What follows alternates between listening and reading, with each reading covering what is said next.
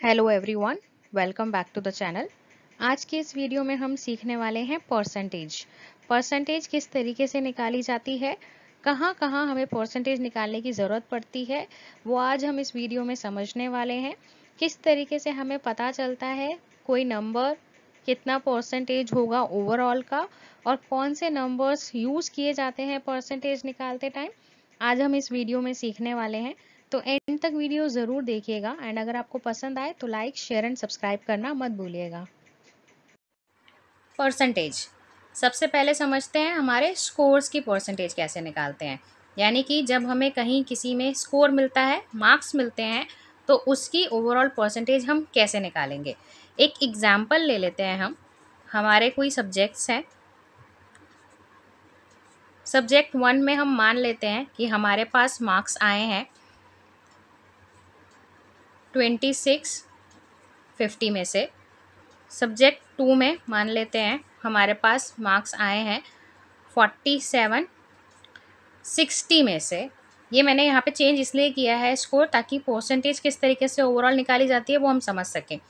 ज़रूरी नहीं है सबके मार्क्स सेम में से हो, इसीलिए। सब्जेक्ट थ्री में मान लेते हैं, हमारे आए हैं सेवनटीन, फोर्टी में से। ये हमारे तीनों अलग अलग मैंने जान के लिए हैं। अब हमारा सबसे पहला परसेंटेज निकालने का क्या तरीका है? स्टेप है।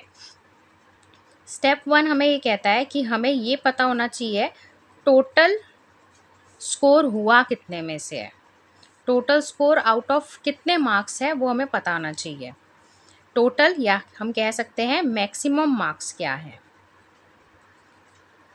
तो मैक्सिमम मार्क्स हमारा क्या है यहाँ पे? फिफ्टी प्लस सिक्सटी यानी कि one hundred ten plus forty यानी कि वन हंड्रेड फिफ्टी ये था हमारा टोटल स्कोर मतलब टोटल स्कोर मतलब टोटल मार्क्स मैक्सिमम मार्क्स कितने में से टोटल मार्क्स आए हैं मतलब? मैक्सिमम मार्क्स जो कि हाईएस्ट मार्क्स हैं.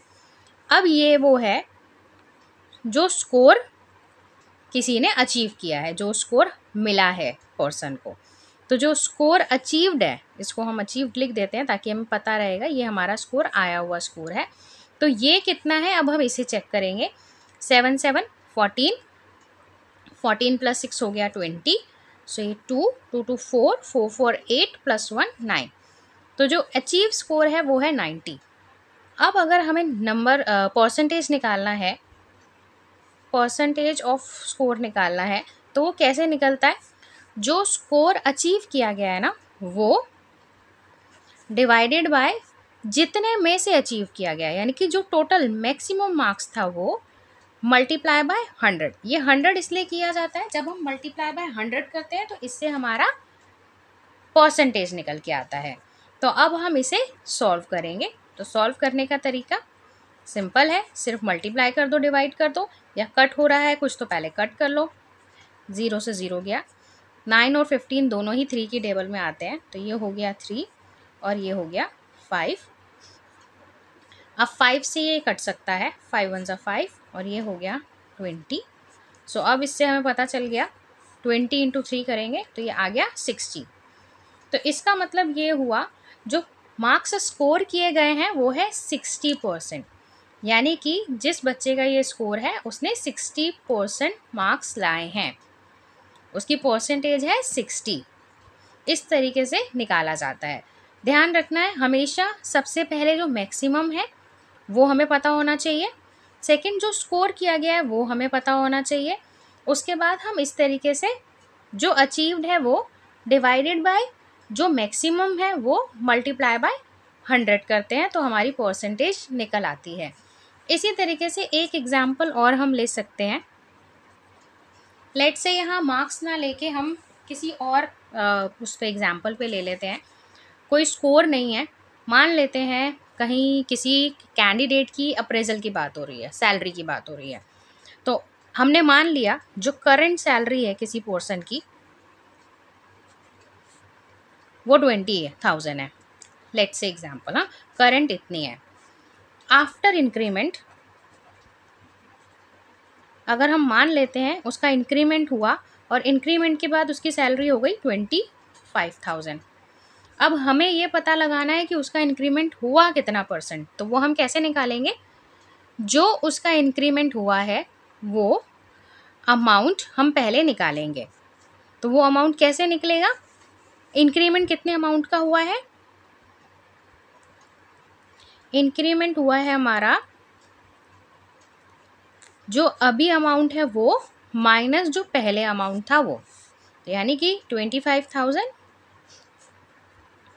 minus twenty thousand तो इससे हमें पता चला, उसका जो अमाउंट बड़ा है वो तो है फाइव थाउज़ेंड रुपीज़ अगर उसका फाइव थाउज़ेंड रुपीज़ बड़ा है, और अब हमें ये बताना है कि कितना परसेंट बड़ा है वो तो हम क्या करेंगे?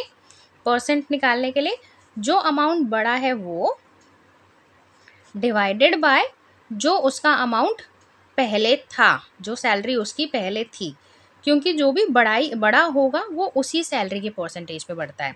वो एंड मल्टीप्लाई बाय हंड्रेड जैसा कि मैंने अभी ऊपर वाले ऑप्शन में भी बताया था कि मल्टीप्लाई बाय हंड्रेड परसेंटेज निकालने के लिए किया जाता है। तो अब हम यहाँ पे क्या करेंगे, इसे डिवाइड कर देंगे। Zero zero zero zero zero zero तो कट गया। एक ज़ीरो इससे इससे भी काट देते हैं। ये टू वन ज़ा टू टू फाइव ज़ा टेन तो फाइव फाइव ज़ा हो गया। ट्वेंटी फाइव तो इसका मतलब क्या हुआ? उसका ट्वेंटी फाइव परसेंट इंक्रीज़ हुआ है। ट्वेंटी फाइव परसेंट से उसे इंक्रीज़ मिला है। ये दोनों ही क्वेश्चन बहुत अलग टाइप हैं बट दोनों में ही हमने परसेंटेज निकाली है। इस वाले में हमने ये चेक किया किसी बच्चे ने कुछ मार्क्स स्कोर किए हैं तो वो कितना परसेंटेज स्कोर किया है? इस वाले में हमने ये चेक किया कि किसी की सैलरी कुछ अमाउंट थी बट फिर वो इंक्रीज़ कर दी गई। तो इंक्रीज़ करने पर पता लगाना है कि कितना परसेंट इंक्रीज़ की गई है। तो ये हमने वो चेक किया। दोनों में ही परसेंटेज यूज़ हुई है बट दोनों ही बहुत अलग तरीके के क्वेश्चन हैं।